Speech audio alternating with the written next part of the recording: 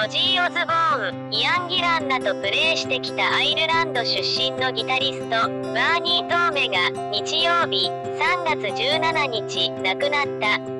誕生日の前日66歳だった。月曜日18日彼の Facebook にバーニー・トーメ1952年3月18日から2019年3月17日までその秘宝が掲載された。先月中旬、トーメは重度の肺炎により入院し、